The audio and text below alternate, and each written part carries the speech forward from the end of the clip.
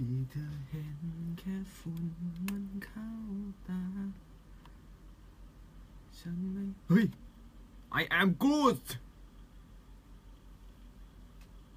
I am Groot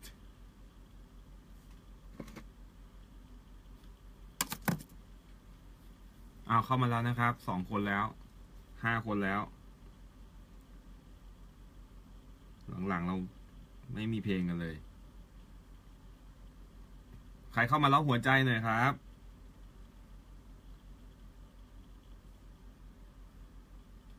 วันนี้แว่นหายแล้วครับ ต้องจ้อง ต้องจ้องจอ โอ้ย พออายุเยอะขึ้นแล้วสวัสดีค่ะไรลาพออายุเยอะขึ้นแล้วทำอะไรก็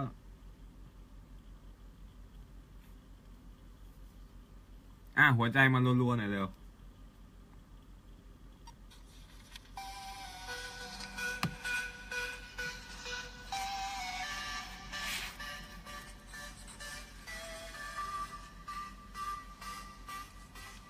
ร้องเพลง ร้องเพลงอะไร ไม่มีอารมณ์ร้องเหนื่อยอยู่จะอ้วกเลยเนี่ย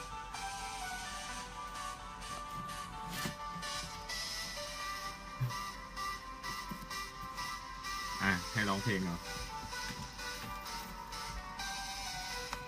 กับคนที่มันหมดใจ พอหมดเวลาก็ไป จะเศร้ากันไปทำไมมันไม่ได้มีใครตาย อ่าสวัสดีครับ เดี๋ยวรอสักสักพักหนึ่งเนาะมันก็เป็นวัฏจักรเดิม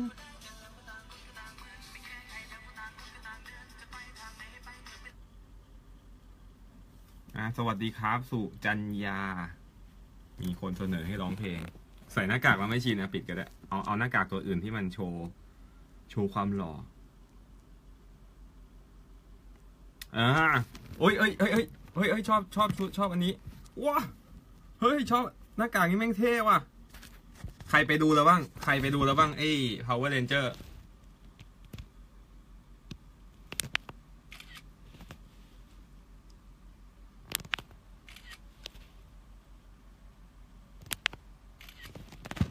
โอ้ สุดยอดเลย เออ เออเออหน้ากากนี้เท่ ใค รไปดูแล้วบ้าง Power Ranger มันเห็นเต็มตัววะว้าอ๋อให้แค่ครึ่งตัว เหมือนก็เหมือนกระสือเลยเว้ย สวัสดีครับ น้องจุธามาศโอ้เล่นเอากูตะลึงเลยหน้ากากนี้ โปรแกรมอะไรมันเป็นโปรแกรมมันมันเป็นอยู่ใน Facebook อะครับ เดี๋ยวเดี๋ยวพี่ไปหาแว่นก่อนหนูไม่ไหวแล้ว มองไม่เห็น ไปเอาแว่นไว้ไหนวะ แป๊บหนึ่งนะจ๊ะ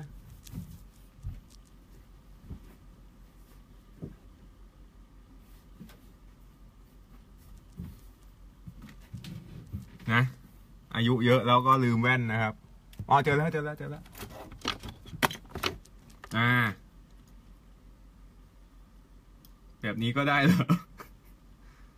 เออ เอามาละ นะครับ วันนี้พยายามจะให้ไม่นานนะครับเพราะว่าวันอาทิตย์เดี๋ยวน้องๆต้อง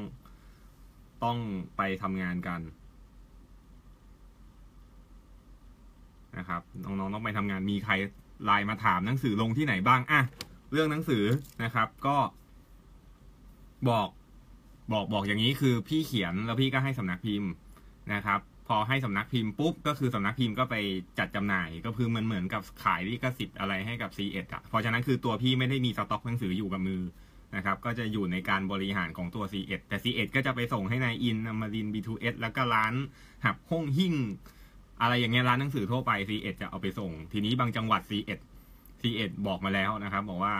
บางจังหวัดยังส่งไม่ทันอะไรแบบเนี้ย แต่ว่าก็ไปสั่งสั่งที่ตัวเจ้าของร้านได้ แต่ถ้าอย่างตัวพี่เนี่ยตัวที่พี่ตัวพี่เองไม่มีไม่มีหนังสืออยู่กับมือคือ คือแม้แต่ตัวพี่เองอะ่ะพี่ก็ต้องไปซื้อที่ c ีเอ็ดแล้วแถวบ้านพี่แม่งก็หมดเหมือนกันนะครับแล้วคนขายก็ไม่รู้ว่าคือพี่นะคือพี่ตอนนี้พี่ก็ไม่มีหนังสือพี่มีอยู่ในมือตอนนี้เล่มเล่มหนึ่งซึ่งมีคุณแม่คุณแม่ของน้องคนหนึ่งที่อยู่ในในเพจนะครับ ก็คือเขาเอ่อเหมือนกับ อยากให้กำลังใจแม่ คุณแม่จำน่าจะประมาณเหมือนป่วยอะไรอย่างเงี้ยนะครับ ก็คือที่จะส่งหนังสือตัวนี้ไปให้เป็นกำลังใจเขานะครับ ก็ก็เลยต้องไปหาซื้อมา หาซื้อยากเหมือนกันมันหมดนะครับ เพราะฉะนั้นคือใครที่ถามมาอินบ็อกว่าแบบ โอ้ยคือวัด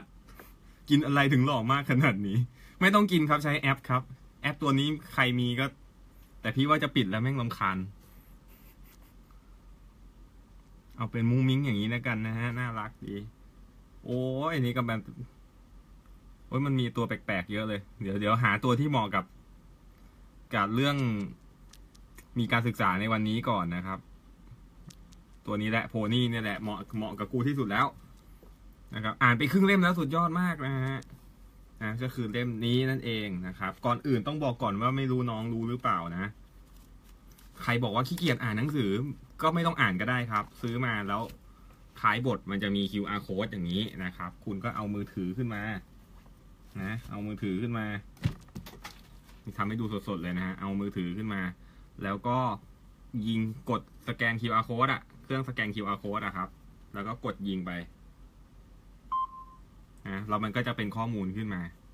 นะครับ อันนี้เป็นตัวน่าจะแนวข้อสอบ เนี่ยก็ขึ้นมันจะขึ้นมาเป็นอย่างเงี้ยนะครับ ก็คือแนวข้อสอบก็มี แอปอะไรไม่รู้อะ คือพี่มันเป็นแอปใน Facebook Lite ถ้าอยู่ใน i iPhone iPad หรือ Android ก็น่าจะทำได้นะครับ อะ เรามาลงเรื่องวิชาการก่อนดีกว่านะครับ เรื่องวิชาการนะ เพราะว่าไอตัว ไอตัว เอ่อ มีน้องถามถามมาเยอะนะครับ มันจะมีโพสต์หนึ่งพี่ถามว่าอยากรู้เรื่องอะไร อยากได้เคล็ดลับดีๆเยอะมากขอบคุณมากครับ กันนะกูอ่านอ่านกัญญาพัฒน์นะฮะถามว่าวันที่ยี่สิบเก้าเดือนนี้นะครับ จะมีการสอบ พี่ก็ไม่ทันถามว่าเป็นการสอบสนามอะไรนะครับ จะเป็นการสอบตำแหน่งนักวิเคราะห์แผนและนโยบาย แล้วก็คนที่สอบท้องถิ่นส่วนใหญ่ ที่กำลังใกล้จะเปิดแล้วเนี่ยนะครับ คนที่สอบท้องถิ่นส่วนใหญ่ก็จะสอบเรื่องนักวิเคราะห์ตำแหน่งนักวิเคราะห์แผนและก็นโยบายเยอะนะฮะซึ่งตัวพี่เองเนี่ยถามว่ารู้เรื่องไหมลึกๆ หลายคนบอกพี่ปอติวหน่อยนักวิเคราะห์แผนนโยบาย คือตัวพี่เนี่ยบอกเลยพี่ไม่ได้จบนักวิเคราะห์แผนนโยบายนะครับพี่จบนิติศาสตร์ก็คือจะรู้เรื่องกฎหมงกฎหมายระเบียบไอ้เรื่องนักวิเคราะห์แผนนโยบายสวอตการเป้า การวางเป้าพันธกิจระยะสั้นระยะยาว คือพี่ไม่ได้เรียนมาโดยตรง แต่ว่าสิ่งที่พี่ทำได้ก็คือมันจะมีน้องที่ดูอยู่นี่แหละนะฮะแล้วก็ส่งข้อสอบส่งอะไรให้ให้พี่เวลาเขาสอบเสร็จแล้วนะครับ อย่างเช่นน้องอ้อนอะไรพวกเนี้ยนะฮะก็จะส่งมาให้แล้วพี่ก็จะไปดูพวกคลังข้อสอบที่เขาส่งให้มาว่ามันมันมีตรงไหนน่าสนใจ แล้วพี่ก็จะมาย่อแล้วก็ทำเป็นไอตัวคอนเทนต์ภาพที่เราแชร์กันประมาณพันแชร์แล้วนะก็ก็อันนั้นจะเป็นถามตอบถามตอบถามตอบ ซึ่งพี่ดูแนวข้อสอบที่มันเป็นขายตามท้องตลาด ตามตามร้านซีเอ็ดที่มันเป็นแนวข้อสอบแบบแบบแม็กเล่มขายอะนะครับ เล่มละประมาณแบบสามร้อยกว่าอะไรอย่างเงี้ย คือมันก็ไอที่พี่ปล่อยไปอะเป็นคำคำถามตอบถามตอบอะมันค่อนข้างจะครอบคลุมแล้วนะครับ ครอบคลุมเนื้อหาของคือถ้าไปเจอกากบาทมันไม่น่าจะหลุดจากนี้นะครับ แต่ว่าก็ยังมีน้องถามมาว่าพี่มันอาจจะออกเป็นข้อเขียนก็ได้นะคือบางทีมันประกาศว่าเป็นกากบาทและข้อเขียนเนี่ยเอาข้อจริงพอไปสอบมันมันมีแต่กากบาทเราก็เคยชินกันเนี่ย พอไปสอบกันบางทีมันเอาข้อเขียนมาแจกอย่างเงี้ยนะครับ หนังสือเล่มเท่าไหร่สองสองห้าครับสองสองห้าบาทนะฮะใครสอบพัฒนาที่ดินบ้าง เออหลหลายคน inbox inbox มาถามพี่นะครับ ว่าหลายเรื่องอะสอบตรงโน้นสอบตรงนี้บางทีพี่ตอบไม่ทันนะเพราะว่าวันหนึ่งมันเจ็ดสิบเจ็ดสิบแปดสิบอินบ็อกอะคือตอบได้อย่างมากก็ประมาณยี่สิบก็หมดเวลาแล้วนะหมดแรงแล้วนะครับ ก็ก็ขอประทานอภัยคนที่พี่ตอบอินบอกไม่ได้ เวลาสงสัยอะไรพี่จะตั้งกระทู้ถาม อะ เข้าเรื่องเลยนะฮะ B2S มีครับ อ่า มีน้องแก้วตาอ่านเกือบจบเล่มแล้วนะครับ คือพี่พี่ดีไซน์ให้มันอ่านเร็วๆ อ่าน ไม่ใช่หนังสือแบบ ไม่ใช่หนังสือแบบที่มันไม่น่าอ่านแล้ว ดูแล้วเชื่อว่าชาติหนึ่งอ่านไม่จบอะคือ คือพี่จะใช้ภาษาแบบง่าย ๆนะครับ แล้วก็อ่านแบบ อ่านเอาประเด็นไปเลยนะครับโคตรฮอตโอ้อะเข้าเรื่องเข้าเรื่อง เข้าเรื่องอ่าไหนใครมีปัญหา กับการสอบข้อเขียน ใครคิดว่าตัวเองมีปัญหากับการสอบข้อเขียนบ้างฮะ กดไลค์มาหน่อย อ่า กดไลค์มารัวๆหน่อยนะฮะคนที่คิดว่ามีปัญหากับการสอบข้อเขียน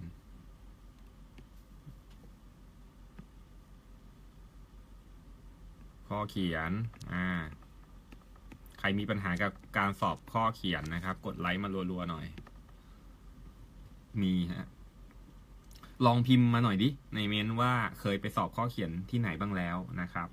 หรือบางคนบอกอกูคิดว่าเคยมีปัญหา แต่กู กูไม่เคย กูไม่เคย กูไม่เคยสอบหรอกข้อเขียนแต่กูคิดว่ากูมีปัญหา กูน่าจะมีปัญหานะ ใครเคยมีปัญหา เคยมีประสบการณ์เรื่องสอบที่ไหนบ้างแล้วครับ ข้อเขียนลองลองพิมพ์ข้างล่างดูนะครับเราจะได้มาคุยกันนะครับ ข้อเขียนไม่เคยกลัวกลัวภาษาอังกฤษเดี๋ยวเดี๋ยวเดี๋ยวภาษาอังกฤษ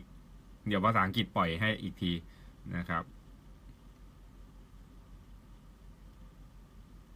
ข้อเขียนภาษาอังกฤษไม่มีนะครับ ประเทศไทยยังยังไม่มีข้อเขียนภาษาอังกฤษยกเว้นตำแหน่งนักการข่าว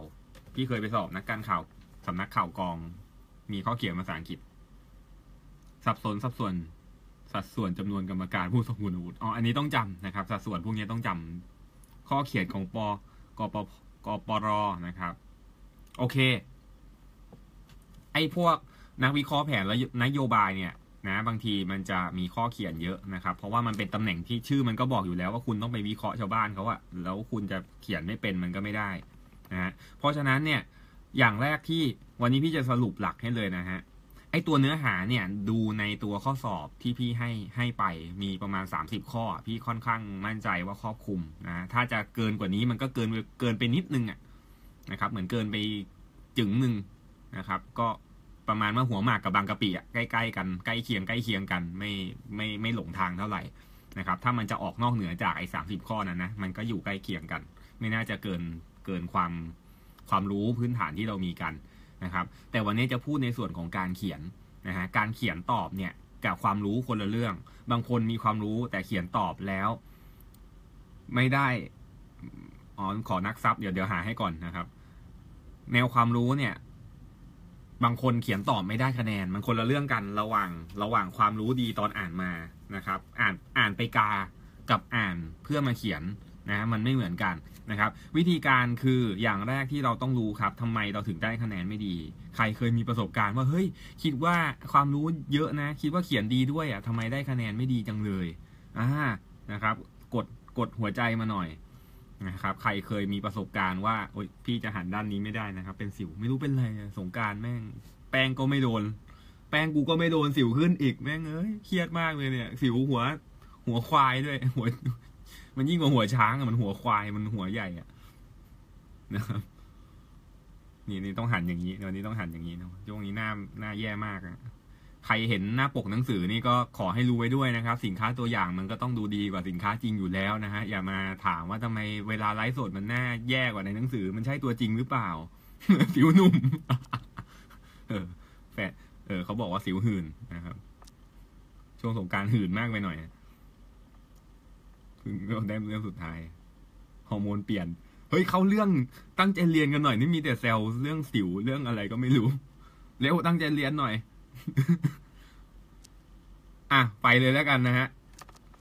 อย่างแรกที่เราต้องรู้ครับ คือธงอ่า ในเรื่องของการเขียนตอบข้อสอบต้องรู้จักธงก่อนธงคืออะไรนะครับ ถ้าใครหยิบในหนังสือดูนะ พี่จะเขียนเอาไว้ในหน้า วันนี้ก็คือเอาหนังสือแหละมาสอนนะครับ ในหนังสือเนี่ยจะ พูดถึงข้อสอบไอ้เรื่องเรื่องอนักวิเคราะห์แผนนโยบายมาเป็นตัวอย่างพอดีนะครับ เขียนไว้หน้าไหนวะลืมนะครับ เขียนไว้ในบทที่ 13 นะครับ วิชาการทำข้อสอบและวิชามานมั่วข้อสอบข้อเขียนนะครับ หน้าร้อย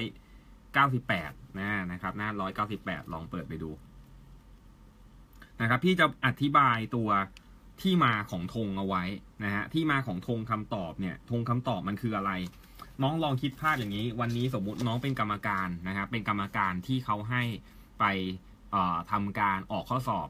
อ่อทำการตรวจข้อสอบ กรรมการมีอยู่สิบกว่าคน อย่างเงี้ย กรรมการมีอยู่สิบคนน่ะนะครับ มีอยู่สิบคนที่เป็นกรรมการนะไปนั่งตรวจข้อสอบ เนี่ยกรรมการมีอยู่สิบคน แล้วข้อสอบมีอยู่กองหนึ่งนะครับ ก็กระจายส่วนมาให้กรรมการแต่ละคนตรวจ อ่า แล้วมันเกิดอะไรขึ้นครับ ไอ้กรรมการคนนี้นะครับ อารมณ์ดี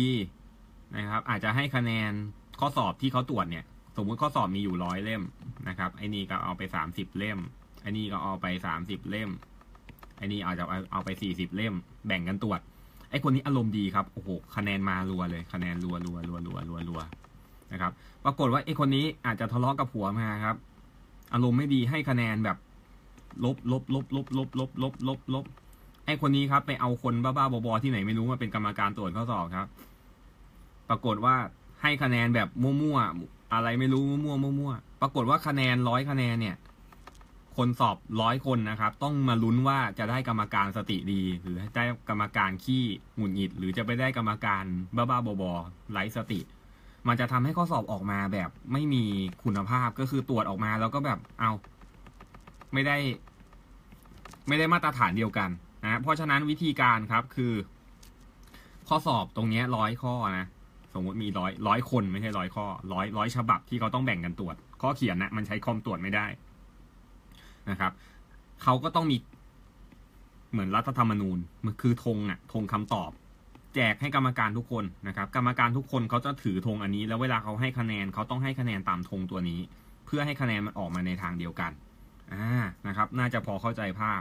ทีนี้เวลาน้องตอบเนี่ย น้องอ่านหนังสือมาเยอะนะครับ ความรู้ดี แต่เวลาน้องตอบ น้องไปตอบ สมมุติน้องไปตอบแบบ นี้ข้อสอบข้อสอบกระดาษหนึ่งมา น้องก็ตอบตืดตืดตืดตืดตืดตืดตอบตามที่น้องคิด แต่ว่าธงคำตอบมันเป็นอีกแบบหนึ่งมันไม่เหมือนกันนะครับ เวลาเขาตรวจเนี่ยเขาจะยึดธงเป็นหลัก พอเขายึดธงเป็นหลักไอ้สิ่งที่น้องตอบมันอาจจะถูกจริงครับ แต่ว่ามันไม่ถูกธงมันไม่ตรงกับสิ่งที่ธงเขาเป็น มันก็จะได้คะแนนไม่ดีนะครับ เพราะฉะนั้นเนี่ยวิธีการคือก่อนที่จะลงไปถึงเรื่องวิชาการต่างๆนะครับ เราต้องรู้ก่อนว่าไอ้ตัวธงคำตอบเนี่ยโครงสร้างมันเป็นอย่างไรอ่านะครับ ทีนี้ลองมาดูว่าธงคำตอบ หน้าตาองค์ประกอบของมันคืออะไรธงคำตอบมันจะเป็นอย่างนี้ครับ งคำตอบมักจะเป็นกระดาษ มันจะเป็นกระดาษ A4 อะนะแล้วก็เขาจะเขียนไว้เป็นตัวสั้นๆ ตรงนี้ อย่างเช่นท่อนแรกให้เขียนเรื่องเกี่ยวกับอะไรนะครับ แล้วเขาเป็นประเด็นสั้นๆ แล้วเขาก็จะวงเล็บไว้ห้าคะแนน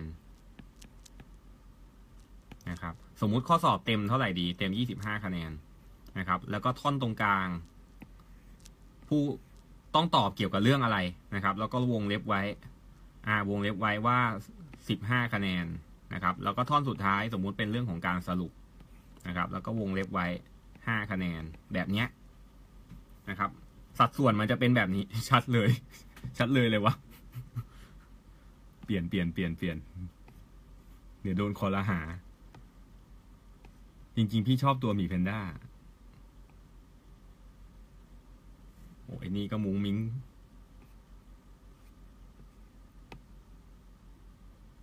อ่า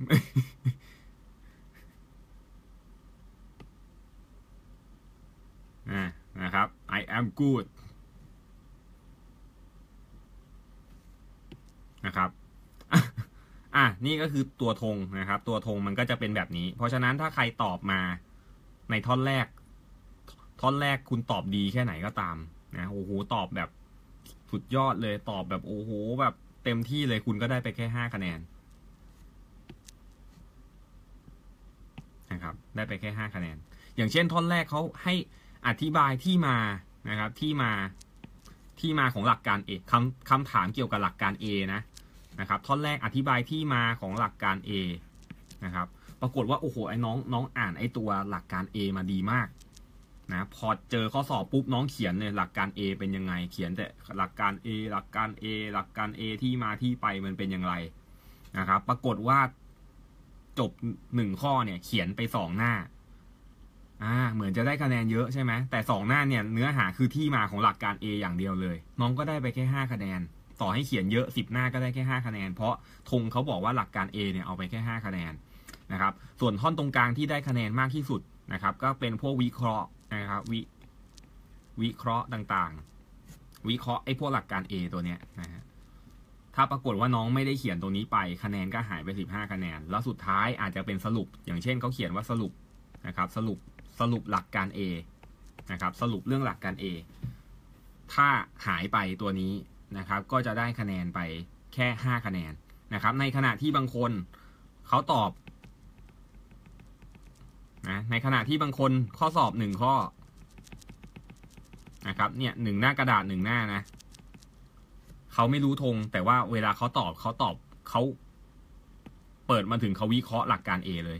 ตึกตึกตึกตึกหลักการ A อย่างเดียวเต็มหน้ากระดาษเลยเขียนแค่หนึ่งหน้ากระดาษ ไอคนเมื่อกี้เขียนที่มา แต่เขียนไปประมาณสามหน้ากระดาษ A4 นะครับ แต่ว่าอีกคนนึงเนี่ย เขียนแค่ตอบคำตอบคำถามแค่หนึ่งหน้า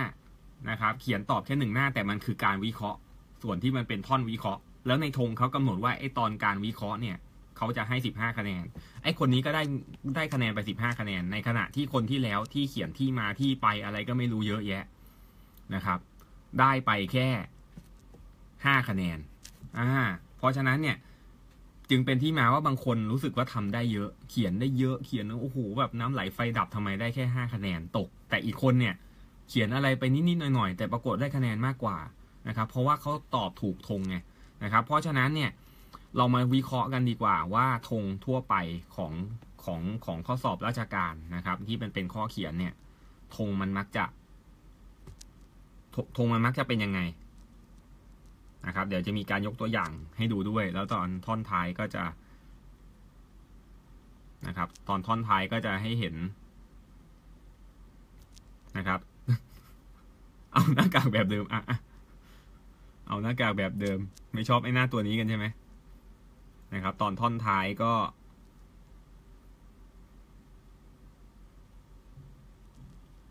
นะอย่างนี้ดีกว่านะครับเดี๋ยวเดี๋ยวตอนท่อนท้ายเราก็มา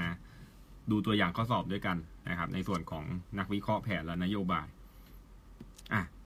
ธงข้อสอบของราชการส่วนใหญ่ครับ จะเป็นแบบนี้เป็นกระดาษสมมุตินะ กระดาษแบบนี้ อ่า สมมุติเขาให้อธิบายเรื่อง A B C นะครับ พี่ไม่รู้ว่า A B C คือเรื่องอะไรนะ สมมุตินะเขาให้อธิบายเรื่อง A B C นะครับธงคำตอบส่วนใหญ่ของราชการเนี่ยประเด็นแรกนะครับ ประเด็นแรกมักจะเป็นให้ให้เหมือนเกินที่มานะครับ มันจะอยู่สมมุติสัดส่วน 25 คะแนนนะไอ้ตรง A B C ท่อนเกินเนี่ยจะประมาณ 5 คะแนนนะครับ แล้วตรงเนี้ย วัตถุประสงค์ของการที่เขาให้มีข้อสอบข้อเขียน คือเขาต้องการให้เราวิเคราะห์ข้อสอบนะครับให้ให้เราโชว์การเขียนแบบวิเคราะห์นะครับ ตรงนี้ต้องเป็นเหมือนกับตัวหลักของมัน อาจจะต้องเขียนเยอะหน่อย วิเคราะห์หลักการ A กับประเทศไทย วิเคราะห์หลักการ A กับไอโน่เนี่ยกับไอนี่เนี่ยประมาณ 20เออประมาณ 15 คะแนนนะครับ แล้วก็ท่อนสุดท้ายที่เขาอาจจะไม่บอกให้เราเขียน แต่ว่าเราให้ระลึกไว้เลยว่ายังไงเราก็ต้องเขียนนะครับ นั่นก็คือท่อนสรุปนะท่อนสรุปเนี่ยไม่ว่าจะเจอข้อสอบ ให้เขียนเรื่องอะไรก็ตามควรจะเขียนไปทั้งหมดนะครับ ท่อนสรุปเนี่ยมันจะเหมือนจะมีคะแนนแถมมาด้วย 5 คะแนนนะครับ โดยปกติของธงข้อสอบราชการมันจะเป็นแบบนี้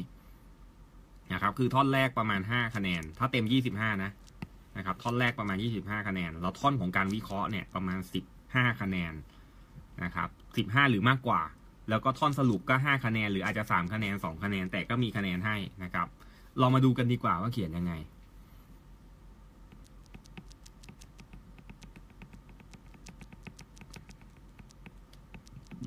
นะเรามาดูกันดีกว่าว่าเขียนยังไง ก็จะยกตัวอย่างที่อยู่ในหนังสือเล่มนี้นะครับนะรีบไปจับจองเป็นเจ้าของหัวใจกันนะครับ เดี๋ยวจะมีแคมเปญพิเศษให้นะฮะสำหรับคนที่มีหนังสือแล้วนะครับ คุณจะมีสิทธิพิเศษอะไรบางอย่าง ในตัวพี่นะครับ สามารถเลือกได้ว่าจะให้พี่เต้น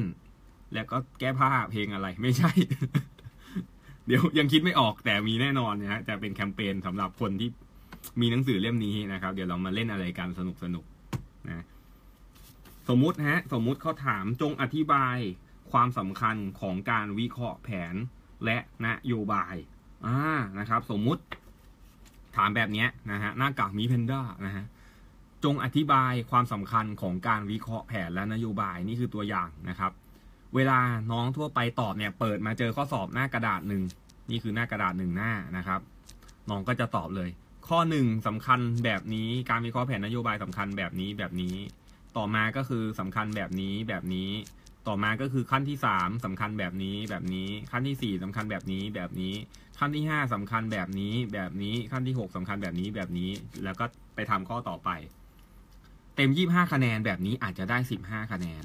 อ่าเพราะว่าอะไรก็ลองดูตัวธงที่พี่บอกเมื่อกี้ดิธงสัดส่วนเขาต้องมีเหมือนเกิบเกินที่มาวางหลักการก่อนแล้วค่อยบอก ตัวนี้วิเคราะห์นะครับ แล้วก็ค่อยมีตัวสรุปไอ้นี่อยู่ดีๆ เรา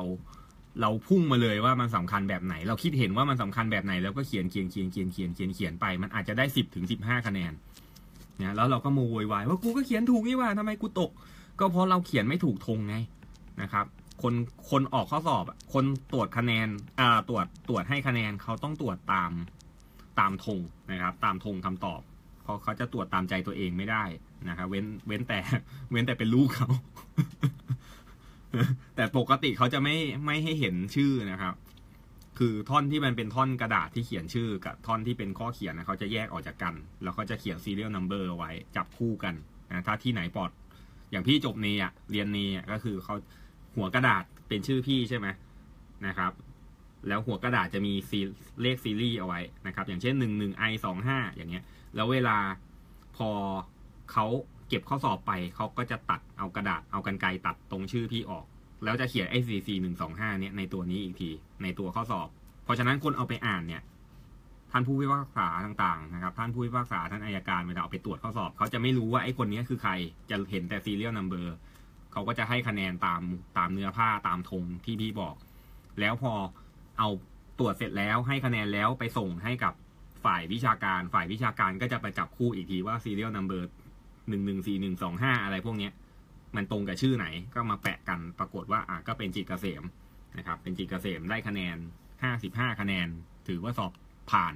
แบบเนี้ยนะฮะข้อสอบข้อเขียนถ้าได้มาตรฐานจะเป็นแบบนี้นะครับ เพราะฉะนั้นไม่ต้องกลัวว่าว่าว่าเออเขาจะลำเอียงหรือเปล่านะครับ เว้นแต่เขาจำจำลายมือได้อะไรพวกเนี้ยนะฮะอะเข้าเรื่องแล้วครับ วิธีการตอบข้อสอบแบบนี้ให้ได้ธงนะฮะอย่างแรกก็คือ เขียนก่อนนะฮะอย่างยังไม่ใช่มาเขียนว่าความการวิเคราะห์แผนนโยบายสำคัญแบบไหนหนึ่งสองสามสี่ห้านะครับตอนแรกขึ้นมาก่อนเลยว่าการวิเคราะห์แผนนโยบาย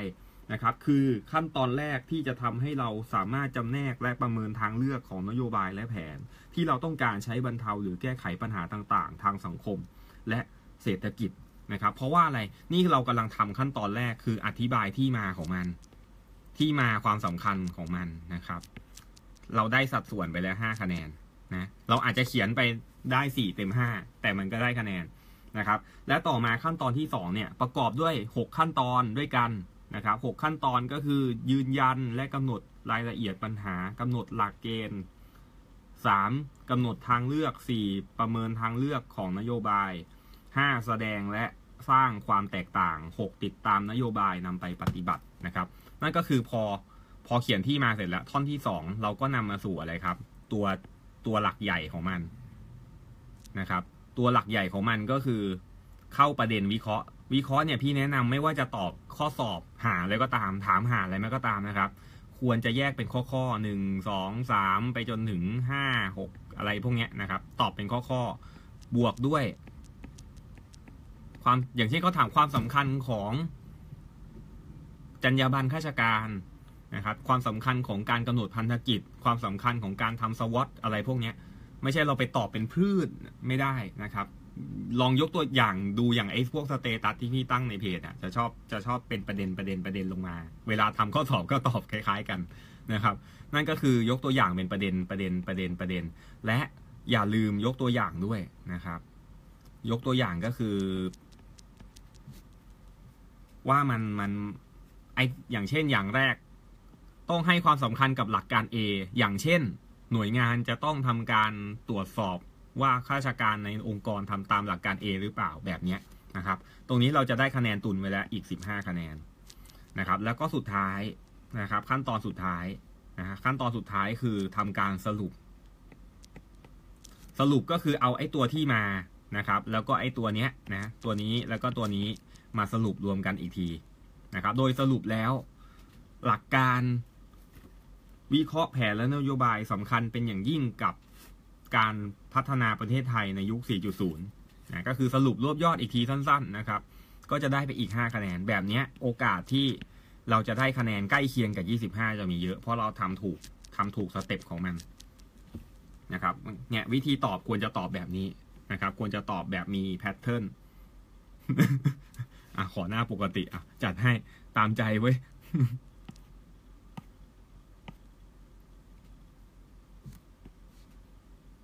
กลายเป็นว่าพี่ไม่รู้ปิดหน้ามันยังไงวะ ปิดหน้ามันไม่ถูกสวยแล้ว อ่า ปิดได้แล้ว โอเค เรากลับมาสู่โหมดปกติของเรากันนะครับ ให้จำเทคนิคตัวนี้นะครับ ก็คือตอบเป็นเป็นเป็นบล็อกเป็นบล็อกเป็นบล็อกแบบนี้ ในเรื่องของการทำข้อสอบราชการ แล้วกรณีที่เราจะมั่วบ้างล่ะนะครับ กรณีที่เราจะมั่วบ้าง กรณีที่จะมั่วคือเราไม่ได้เตรียมตัวไป หรือเตรียมตัวไปไม่ดีพอนะครับ ปรากฏว่า เวลาไปเจอข้อสอบแล้ว มันเหมือนกับคนที่ไปไม่เป็นนะครับ อย่างแรกสมมุติว่าเราไม่ได้อ่านไปเลยนะ ในนี้พี่ก็จะเขียนเอาไว้นะครับ สมมุติละสมมุติว่าเราอ่าไปเจอข้อสอบรายละเอียดจะอยู่ตรงเนี้ยหน้าเนี้ยนะฮะจะเขียนเอาไว้เป็นเหมือนเป็นสูตรเลยเป็นสูตรตายตัวเลยอะ่ะคือจำดูแล้วจำแล้วเอาไปใช้ได้เลย นะครับ สมมุติว่าเราจะทำข้อถามให้อธิบายเกี่ยวกับเรื่องหลัก หลักอ่าสมมุตินิติรัฐบอกตาลายแล้วนะครับ แล้วนิติรัฐ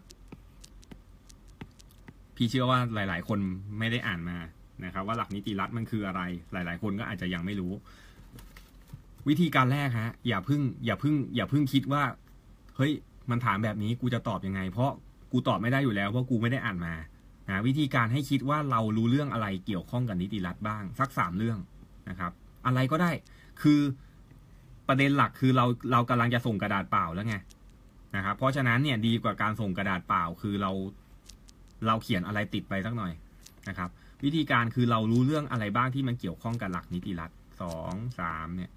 อะไรบ้างที่แม่งเกี่ยวข้องกับหลักนิติรัฐนะครับ อย่างเช่นอะหลักนิติรัฐมีคำว่านิติแสดงว่าแม่งต้องเป็นเรื่องของกฎหมายเว้ยนะครับ เรื่องของกฎหมาย มีคำว่ารัฐเว้ยแสดงว่ามันต้องเป็นเรื่องเกี่ยวกับอะไรครับ เกี่ยวกับการปกครอง กูก็ไม่รู้หรอกการปกครองในมุมไหน แต่แม่งต้องเกี่ยวกับการปกครองแม่งต้องเกี่ยวกับนายกอะ่ะ มันต้องเกี่ยวกับ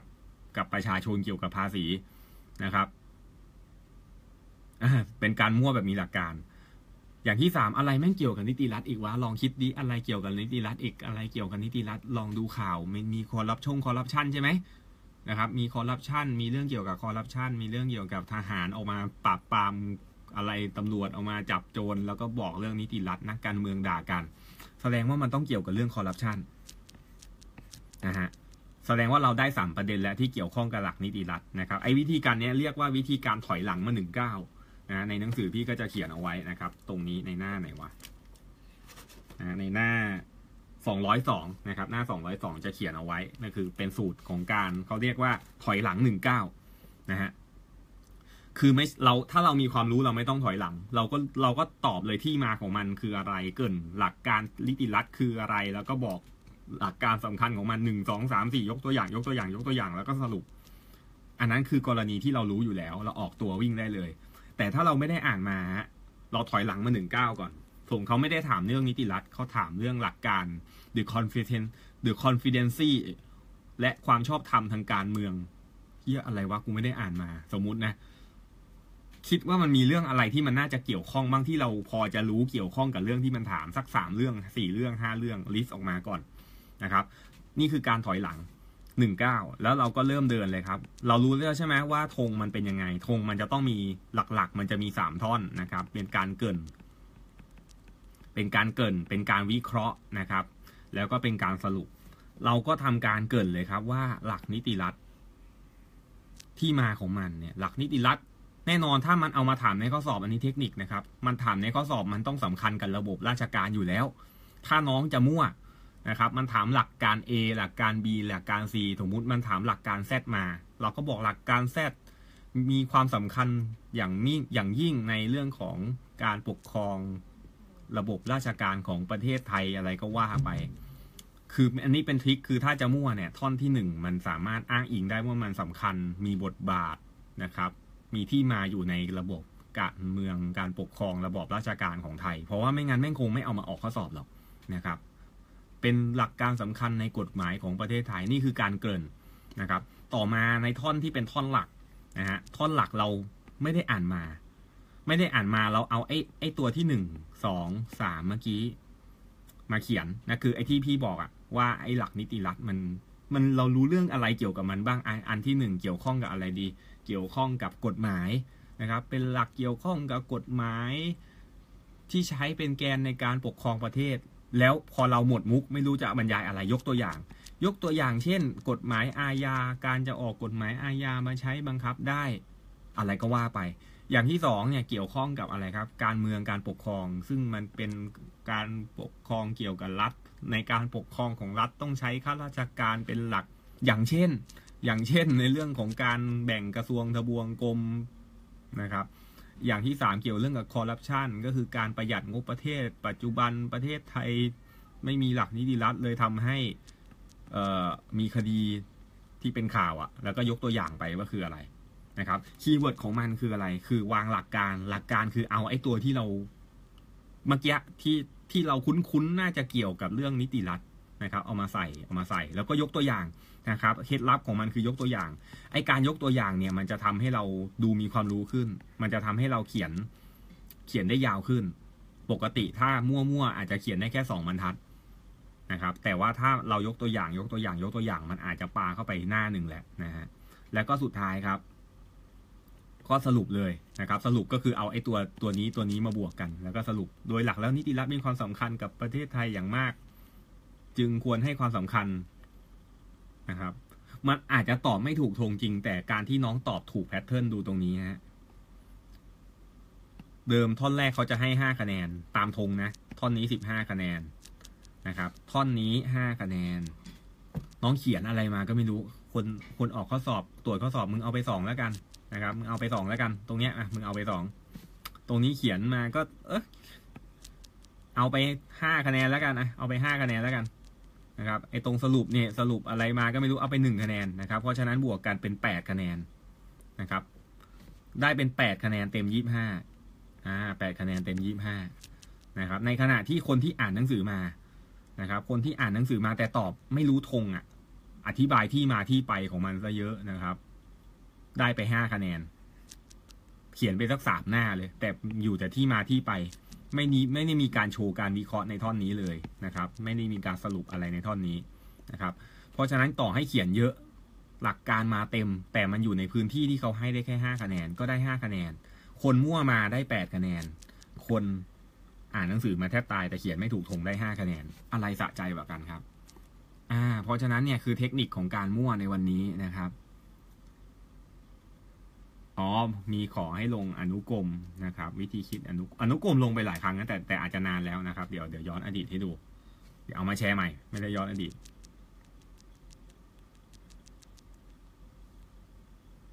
อ่าวันนี้ก็จะจบแล้วนะฮะในเรื่องของการเขียนตอบข้อสอบลองเอาไปใช้กัน โดยเฉพาะคนที่จะสอบนักวิเคราะห์แผนนโยบายปลายเดือนนี้นะครับ คิดว่าเป็นประโยชน์มากเลยกับการที่เราจะเอาไปใช้ในเรื่องของการเตรียมตัว อะหญิงอ้อหวัดดีครับ สูตรมั่ววูดดี้นะครับ เดี๋ยวดูย้อนหลังได้ครับ ไม่ลบนะฮะบอกตาลายหมดแล้วนะครับอะนะครับ ถ้าใครสนใจรายละเอียดต่างๆนะครับ ก็จะเขียนลักษณะเป็นเหมือนกับสรุปเป็นสูตรไว้เลยเป็นเหมือนคัมภีร์ไบเบิลนะครับ เป็นสรุปเป็นสูตร เป็นสูตรเป็นสูตรเอาไว้ให้เห็นหน้าตาชัดเจน มีการจัด มีการจัดเป็นเหมือน word wording อย่างอย่างเงี้ยนะครับ มันจะมีเหมือนกับข้อสอบขั้น advance ด้วยเป็นข้อสอบแบบให้วินิจฉัย ถ้าไปเจอข้อสอบยากคือพี่จะเขียนสูตรไว้ในนี้นะครับ ก็จะเป็นแบบเป็น wording ให้เราไปแกะได้เลยนะครับใช้หลักไหลลื่นแบบมีหลักการนะครับ แล้วก็มีส่วนของวิชามารก็จะอยู่ในในเป็นแบบนี้นะครับ วิชามารแบบนี้ ก็คือจะสรุปเป็น step หนึ่งสองสามหนึ่งสองสามแล้วก็มี pattern มี pattern ทำให้เห็นเป็นอย่างนี้เลยนะครับ เป็นแบบนี้เป็นแบบเอาไปใช้ได้จริง นะครับอ่าสำหรับวันนี้ก็ขอขอบพระคุณทุกท่านที่ติดตามนะครับ วันอาทิตย์แล้วปกติ วันอาทิตย์เราก็จะขี้เกียจทำอะไรอ๋อควรจะตูพรสวัสดีครับ ไปตามหามาได้แล้วนะฮะก็ติดตามหนังสือได้นะครับสำหรับสาขาที่หมดนะฮะสาขาที่หมดก็จะเติมเติมให้นะครับ เดี๋ยว c ีเเขาก็จะเอารถบรรทุกไปเติมให้นะครับ แต่ว่าสั่งจองไว้ที่พนักงานได้นะครับ พนักงาน เวลาไปแล้วไม่เจอหาไม่เจอก็ถามพนักงาน ถ้าพนักงานบอกหมดก็สั่งจองไว้ได้นะครับ แล้วเขาจะโทรไปหาน้องเองว่าหนังสือมาแล้วค่ะ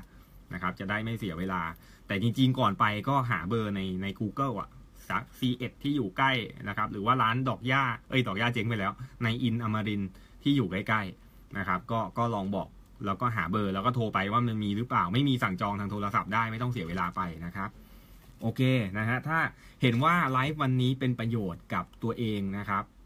ก็ขอให้รู้ไว้ว่าเพื่อนๆหลายคนเขาก็ต้องการความรู้ตรงนี้เหมือนกัน เพราะเขาอาจจะมีปัญหาเหมือนกับที่น้องมีก็ช่วยแชร์ด้วยนะครับ เพราะว่ามันมันมันแบ่งปันกันอะนะครับในเรื่องของการสอบราชการนะครับ ไม่อยากให้เป็นเหมือนเมื่อก่อนในยุคที่พี่สอบในในหนังสือพี่ก็จะเขียนไว้นะฮะว่าช่วงหนึ่งที่แบบโอ้โหแม่งเครียดจังเลยต่างคนต่างต่างคนต่างสอบนะทำอะไรก็เครียดไปหมดนะครับ ถ้า ถ้าปลดล็อกตัวนี้ได้นะ เรามามุ่งอยู่แค่วิชาการที่เหลือเราช่วยกันช่วยกันช่วยกันนะโอ้โห มันจะไม่สำเร็จให้รู้ไป เพราะว่าเหมือนเราสู้สู้อยู่แค่อย่างเดียวอะ่ะก็คือสู้กับตัวเองในเรื่องของการฝึกวิชาการ เราไม่ต้องไปสู้กับคนอื่นนะครับ อ่าสำหรับวันนี้ก็ขอขอบพระคุณทุกท่านนะครับ ที่ติดตามขอให้เต็มที่กับความฝันของเรานะครับ ฝากไว้นิดนึงฝรั่งบอกว่า อนาคตของเราอีกห้าปีจะเป็นอย่างไร ขึ้นอยู่กับ หนังสือห้าเล่มที่เราอ่านในวันนี้ แล้วก็เพื่อนห้าคนที่เราครบในวันนี้นะครับ ตัวหนังสือนะก็เดี๋ยวนี้เราอาจจะไม่ได้ค่อยอยู่กับหนังสือเล่มแต่เราอยู่ในเพจนะครับ ติดตามเพจที่ให้ความรู้น้องลองดูว่าเพจ เพจรอบตัวน้องอะห้าห้าเพจที่น้องดูบ่อยๆมันเป็นเพจที่ให้ความรู้ในเชิงบวกหรือเปล่า เพื่อนที่น้องเจอบ่อยๆเพื่อนที่เป็นตัวตัวเจอกันนะครับ รวมถึงเพื่อนที่เจอกันในเพจสังคมต่างๆ ที่อยู่ในเพจ มันเป็นบวกกับตัวน้องหรือเปล่า ถ้ามันเป็นบวกเป็นบวกทั้งคู่ชีวิตน้องก็จะบวกตามนะฮะเพราะฉะนั้นเพื่อนๆในกลุ่มในกลุ่มในเพจนี้การันตีได้เลยว่าคุณภาพน่ารักทุกคนแบ่งปันอะไรกันทุกคนนะครับ อาจจะมีบ้างที่เอา